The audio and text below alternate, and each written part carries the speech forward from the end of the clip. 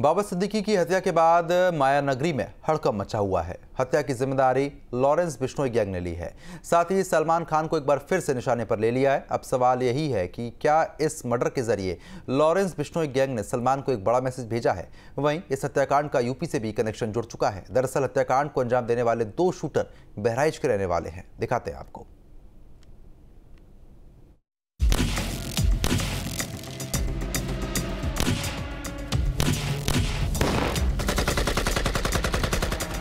Jail से आया order. बाबा सिद्दीकी का मर्डर। लॉरेंस बिश्नोई गैंग ने ली हत्या की ज़िम्मेदारी।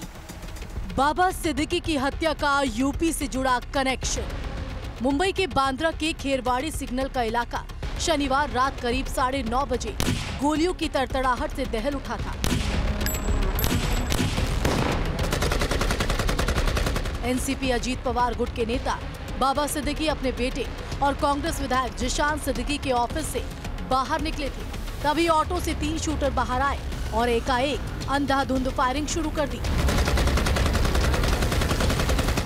तीनों शूटर्स ने मुँह पर रुमाल बांधा था। शूटर्स ने दो अत्याधुनिक ऑटोमेटिक पिस्टल से छह राउंड फायरिंग की। फायरिंग के बाद खेरवाड़ी सिग्नल इलाके में हड़कंप मच गया। थोड़ी देर के लिए यहाँ अफरा तफरी का माहौल हो गया। बाबा सिद्दीकी को तीन गोलियाँ लगी। दो गोलियाँ उनके पेट और एक सीने को पार कर गई। दो गोलियाँ उनकी कार पर भी लगी। एक गोली साथ में मौजूद शख्स को भी लगी। बाबा सिद्दीकी को तुरंत लीलावती अस्पताल में भर्ती कराया गया, जहाँ डॉक्टर्स ने देर रात साढ़े ग्यारह बजे उनकी मौत की पुष्टि कर दी। मर्डर की प्लानिंग जेल में बैठे खूंखार गैंगस्टर लॉरेंस बिस्नोई ने रची थी, और उसके बाद उसने अपने गुर्गों को काम पर लगाया। गुर्गों ने प्लानिंग के मुताबिक काम को अंजाम दिया और बाबा सिद्दीकी का काम तमाम कर दिया। मर्डर के बाद लॉरेंस गैंग ने फेसबुक पोस्ट कर मर्डर की ज़िम्मेदारी ली। लॉरेंस ने पोस्ट में लिखा, सलमान खान, हम ये जंग नहीं चाहते थे, पर तुमने हमारे भाई का नुकसान करवाया। आज जो बाबा सिद्दीकी की शराफत के पुल बाँध रहे हैं, एक टाइम में दाऊद के साथ मको का एक्ट में था। इसके मरने का कारण अनुज थापन और दाऊद को बॉलीवुड राजनीति प्रॉपर्टी डीलिंग से जोड़ना था। हमारी किसी से कोई दुश्मनी नहीं है, पर जो भी सलमान खान और दाऊद गैंग की हेल्प करेगा। अपना हिसाब किताब लगा के रखना। हमारे किसी भी भाई को कोई भी मरवाएगा तो हम अपनी प्रतिक्रिया ज़रूर देंगे।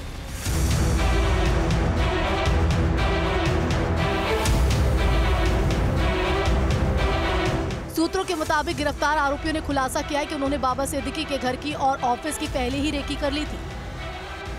शूटर्स ने यह भी बताया कि उन्हें मर्डर के लिए एडवांस में रकम मिल चुकी थी। साथ ही कुछ दिन पहले ही एक आर्म्स डीलर ने कुरियर एजेंट की मदद से पिस्टल की डिलीवरी दी थी। इस पिस्टल के लिए भी पहले ही पैसे दिए जा चुके थे, यानी मर्डर के पहले से पुख्ता प्री प्लानिंग की गई थी। इस हत्याकांड का कनेक्शन यूपी से भी जुड़ा है, क्योंकि इस हत्याकांड को अंजाम देने वाले दो आरोपी बहराइच के कैसरगंज इलाके के गंडारा के रहने वाले हैं। ये दोनों पुणे में कबाड़ का काम करते थे। इस हत्याकांड में दोनों का नाम आने के बाद उनके घर के बाहर भारी संख्या में पुलिस फोर्स लगाई गई है। पुलिस दोनों के परिजनों से पूछताछ कर रही है। इन दोनों में एक आरोपी धर्मराज को मुंबई पुलिस ने गिरफ़्तार कर लिया है।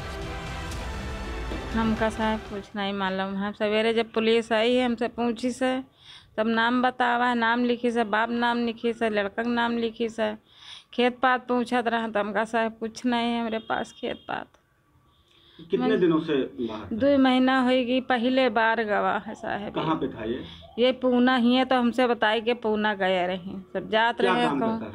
कबाड़ खरीदत रहे। तो अभी क्या जन क्या ये पहले भी यहाँ भी झगड़ा झंझट करता कुछ नहीं का बहुत सीधा लौंडा रहा कुछ झगड़ा झंझट नहीं करत रहा हमका सबका गाड़ी गुप्तारी नहीं देत रहा।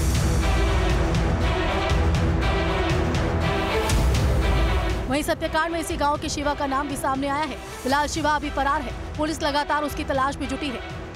हम इस समय खड़े हैं उन्हीं युवकों में से एक युवक शिवा गौतम के घर पर। जिसकी तलाश पुलिस को अभी जारी है। धर्मराज को और हरियाणा के करनैल सिंह को पुलिस ने गिरफ़्तार कर लिया है, लेकिन जो शिवा गौतम है, उसकी तलाश में अभी भी मुंबई पुलिस और तमाम टीमें जुटी हुई हैं। हम उसी शिवा गौतम के घर पर हैं। आप देख सकते हैं, ये उस शिवा गौतम का घर है और ये गाँव है, ये फूस का छप्पर है, जहाँ पर बताया जा रहा है कि शिवा गौतम का घर है और ये शिवा गौतम 18-19 साल का एक लड़का है जो कि पुणे में भंगार यानी कबाड़ का काम करने के लिए गया हुआ था जिसके बाद में अब ये सूचना मिल रही है कि इतने बड़े मर्डर कांड में उसका नाम सामने आया है। शिवा की माँ हमारे साथ हैं जानते हैं उनसे क्या कहना है उनका? आ, क्या नाम है आपका? सुमन। आ, सुमन जी आपके बच्चे का नाम आया है 18-19 साल का लड़का था इसका नाम आया है वहाँ पर बाबा सिद्दीकी नाम के एक बड़े नेता थे बड़े बड़े नाम के व्यक्ति थे उनके मर्डर में उसकी संलिप्तता में उसका नाम आया है। क्या कहना चाहेंगे? भैया हमका नहीं पता है। हमका नहीं मालूम हमका यही मालूम है कि हरीश के दुकान पर ही भंगाड़ के काम करत रहा यही हमका मालूम है और नहीं मालूम है कहाँ पे काम करता था? पूना में। अच्छा। कितने साल से ये पुणे में काम कर रहा है? मतलब जात आवत तो रहा तीन साल से। मोले रे अब से आए रहा तो होली कही के होली के आठ दिन बाद चले गए हैं तब से नहीं आए हैं। ना बात बात कहीं कहीं नहीं आता। क्या यहाँ पे भी अ, कुछ झगड़ेलू किस्म का लड़का था? तो क्या लड़ाई नहीं करत रहा भैया यहाँ कहूँ ईटा गारा कर लिया रहा टेंट में काम कर लिया रहा। तो कैसे भी कहीं चलो चली पूना में भंगाड़ काम किन जे जिन दुकान खोले रहा तो उनके दुकान पर चले गए। तो अब जैसे ये नाम आया है आपके बच्चे का क्या लग रहा है कि उसकी संलिप्तता लग रही है आपको? किस तरीके का लड़का था? नहीं लागत रहा है। अब हम हुआ के बहाल का है बताए पेबे भैया। अब घर के जानित रहा है कि यहाँ हमारे साथ हैं तो ये मेरे के करत हैं। अब हुआ के बात हम ना बताए पे भैया। वहीं आरोपियों के घर पर बुलडोजर की कार्रवाई का अंदेशा जताया जा रहा है। शूटर धर्मराज कश्यप और शिवा गौतम की प्रॉपर्टी की जाँच शुरू हो गई है। राजस्व विभाग के लेखपाल प्रॉपर्टी के आकलन में जुटे हैं। माना जा रहा है कि दोनों आरोपियों के घर पर बुलडोजर चल सकता है। वारदात के बाद गिरफ़्तार शूटर्स ने दावा किया कि वो लॉरेंस बिश्नोई गैंग से हैं, जिसकी पुष्टि बाद में लॉरेंस बिश्नोई ने खुद करके दी।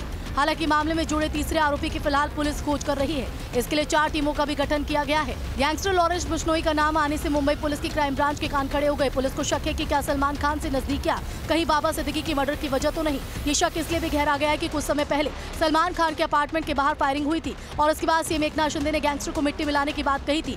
गैंगस्टर लॉरेंस बिश्नोई बाबा सिद्दीकी की मर्डर की ज़िम्मेदारी ले ली है और उसके बाद सलमान खान के घर की सुरक्षा बढ़ा दी गई। बाबा सिद्दीकी मर्डर में लॉरेंस बिश्नोई गैंग के शामिल होने से मुंबई पुलिस की मुश्किलें और बढ़ गई हैं। Team news state news nation अब व्हाट्सएप पर। खबरों के ताज़ा अपडेट के लिए न्यूज़ नेशन के इस क्यूआर कोड को स्कैन करें।